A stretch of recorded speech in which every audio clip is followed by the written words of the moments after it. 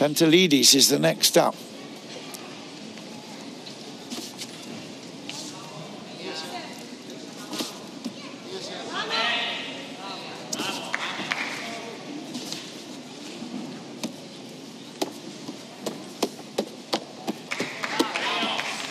Lovely work.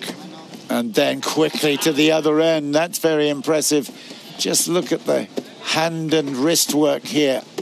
Beautiful balance. He's at speed. My goodness, he's in danger of coming off. Uh, he's got to control this. I tell you, this is tough. Going way down. He does a great job there. Wow. Ho, ho. Tantalidis, Antonios Tantalidis. That really was very, very impressive.